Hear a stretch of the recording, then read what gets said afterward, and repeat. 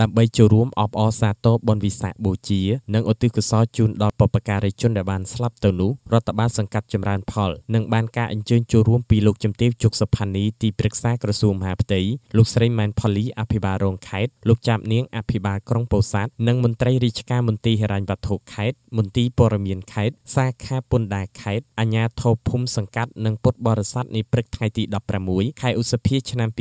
2019បានមកជួបជុំគ្នានៅសាលាសង្កាត់ដើម្បីចូលរួមរាប់បាតព្រះសង្ឃ16អង្គដែលនិមន្តមកពីវត្តឯការាម និងវត្តគិរីបវងមានជ័យបន្ទាប់ពីជួបជុំគ្នានឹងនិមន្តព្រះសង្ឃបាំងស្កូលនិងចម្រើនព្រះបរិត្តរួចទៅតាមគន្លងព្រះពុទ្ធសាសនារួចមកលោកជំទាវជុកសុផានីទីប្រឹក្សាក្រសួងមហាផ្ទៃមានប្រសាសន៍ដោយបានថ្លែងអំណរអគុណចំពោះអាជ្ញាធរមូលដ្ឋានថ្នាក់ដឹកនាំនិងមន្ត្រីរាជការមន្ទីរហិរញ្ញវត្ថុខេត្តមន្ទីរព័ត៌មានខេត្តសាខាពន្ធដារខេត្តពិសេសបងប្អូនពុទ្ធបរិស័ទក្នុងសង្កាត់ចម្រើនផលដែលបានរួបរួមសាមគ្គីគ្នានិងចំណាយធនធានផ្ទាល់ខ្លួនចូលរួមរាប់បាតប្រគេនដល់ព្រះសង្ឃ16អង្គក្នុងគោលបំណងអបអរសាទរបុណ្យវិសាខបូជាផង និងឧទ្ទិសកុសលជូនដល់បុព្វការីជនដែលបានចែកឋានទៅកាន់លោកខាងមុខផងដែលពិធីនេះតែងតែប្រារព្ធជារៀងរាល់ឆ្នាំលោកជំទាវបានថ្លែងជម្រាបជូនថាដើម្បីថែរក្សាប្រពៃណីទំនៀមទម្លាប់ប្រពៃណីខ្មែរយើងដែលមានតាំងពីបុរាណកាលមកនិងចូលរួមលើកកម្ពស់យកចិត្តទុកដាក់ចំពោះពុទ្ធបរិស័ទ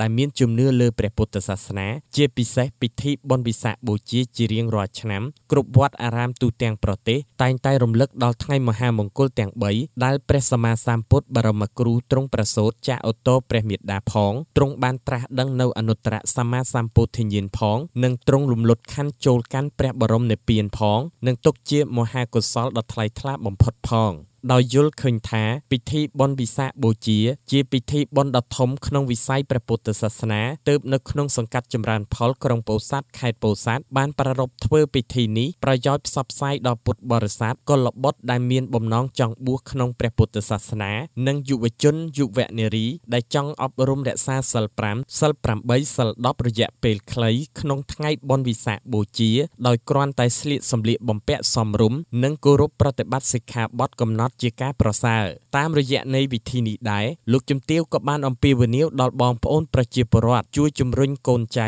គ្រប់អាយុទៅចុះឈ្មោះព្រោះថាការិយាល័យចុះឈ្មោះបោះឆ្នោតចាប់ពីថ្ងៃទី1ដល់ថ្ងៃទី22ខែឧសភាឆ្នាំ